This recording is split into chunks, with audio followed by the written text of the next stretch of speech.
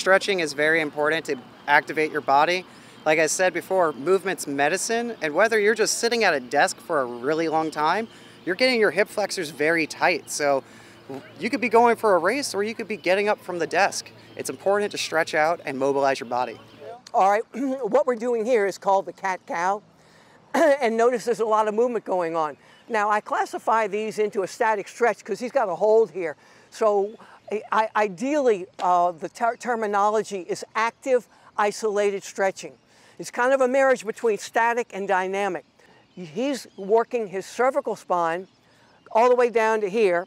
He's working his lum the thoracic spine from here all the way down, and then he's got his lumbar spine in. Notice when he comes in and arches his spine like that, he's exhaling. And notice when he goes back, he's inhaling. Notice when he goes forward, he's putting the head down. That is opening the spine up. You have to keep in mind when you're running this race, what you do with your neck is going to affect your whole spine. So keep in mind, you have to bring everything in. It's what's called the kinetic chain. So what's next? He's going into a pigeon stretch. And notice what he's emphasizing are a couple of things. He's working on the ankle on the other side. He's working the hip flexor on this side. And on the side I'm on, he's working the big gluteal muscle. Notice his movement of the upper torso. He's going to come back and he's going to arch back up. He's, he's opening up the abdominal muscles, the big rectus muscles, and then he is stretching the hip capsule. You can't forget, everything is connected. I can tell you in my experience with Major League Baseball, so goes the hip, and you have a hip strain, you might very well start to see an abdominal strain. They all pull together. And typically what you're finding in your runners before this race is many of their problems didn't occur during the race. They occurred in the training, but it's showing up in the race. So we've got to free the hip flexor. Notice the angle of the knee He's got the knee bent so he can stretch the gluteal muscle, that's the big hip butt muscle, on the opposite side. Now what he's going to do is the lizard stretch. And again, notice what he's working on the ankle. Again, that's very important because 70% of your runners are going to impact first on the heel and rock forward. So you're going to hit here, roll forward, and go. So what Spencer is doing, he's a combination of the ankle on the one side, and he's working the hip flexors and the extensors, that's the back of the hamstring and the buttocks, on the other side.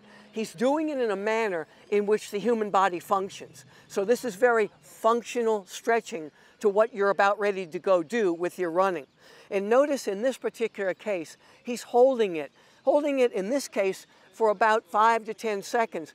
If you were gonna just do static stretching, at least 30 seconds would be fine. But this is a form of stretching that I like to refer to as active isolated stretching, meaning he's isolating and he's actively doing it. Now the hamstring, which is critical for deceleration. The toe is up. Notice he's stretching the calf. Notice he's working the hamstring and he's stretching the back of his body, the butt, and he, you can actually, if you have to, put your hand on your knee if you need to support your back, which he will do, and he'll pull back.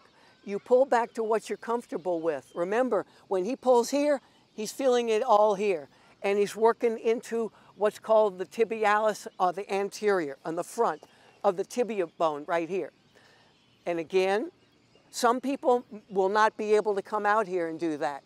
So just your ability to rock is very important on your own. You don't have to do what he's doing. If you can ju just pull it back on your own. Notice he's doing that. We, he's not getting help and he's pulling back. Some people will not be able to reach out. Why? Because their low back is tight.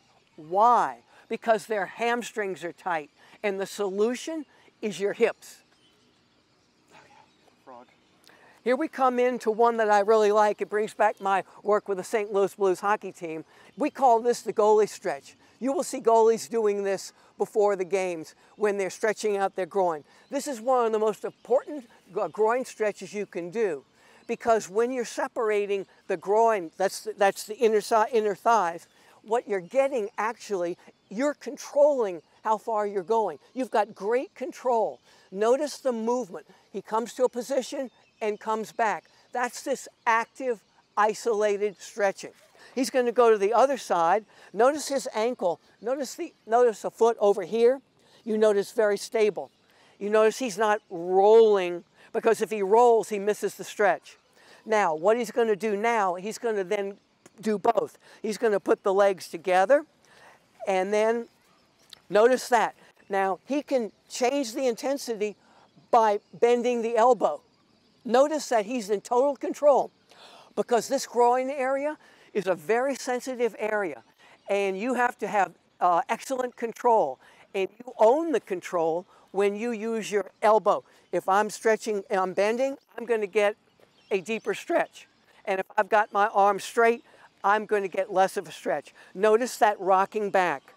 That is that dynamic action. That's that active, isolated stretch. So you're putting a little bit of dynamic movement into a static hold. And speaking of dynamic movement, notice he's moving his leg, but he's actually doing what's called hip flexion and extension. He's actually going through the mechanics of the hip in, in a what's called a, um, a sagittal plane.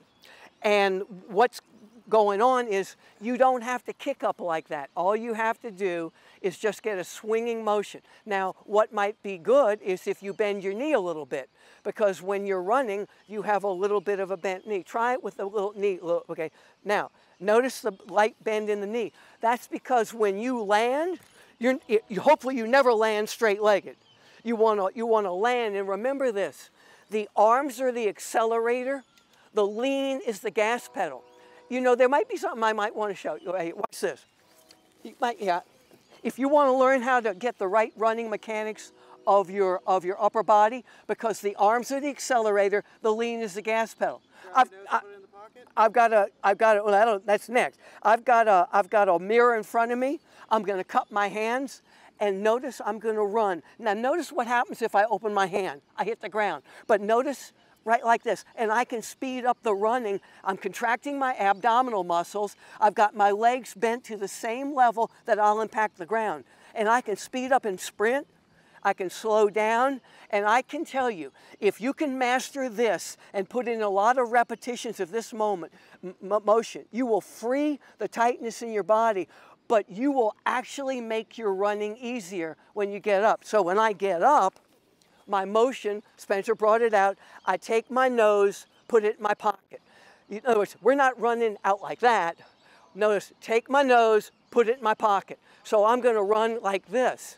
And, that, and I'm also gonna be running, not out here, my mechanics of the human body is to pull me in. So I'm gonna take my nose, put it in my pocket, and go like that, okay? And that is how you bring your hands in to this motion here. And it's going to make a huge difference. You will tire much less than you would if you're trying to fight and hands are going everywhere. What's the worst thing I see is people running like this because it's taking your body this way when you're trying to go this way.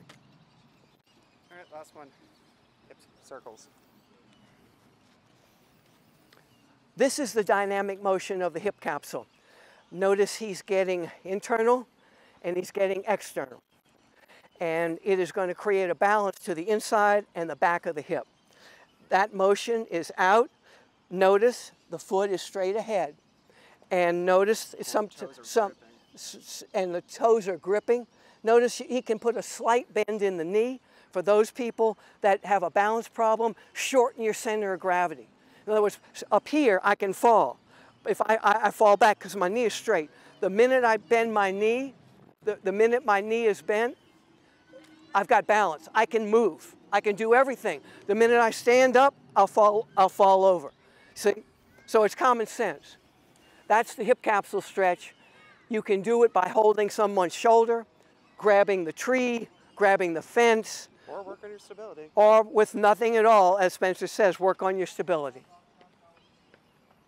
You know, one of the things that you really want to focus on, especially if you're running, is you want to make sure that you work on your balance and stability, and uh, ideally your foot strength, the intrinsic foot muscles, the muscles at the bottom of your foot. Because when you're running, you are collapsing and hitting your foot and impacting the ground. And you don't want to have those weak muscles then lead to your arch collapsing and then having you fall. So it's really important to strengthen those foot muscles. You know, sometimes all I have to do is say, he said it all. What more can I say? Now, what about nutrition? What Well- you, you had more points to add to me. Go ahead, Yeah. teach me.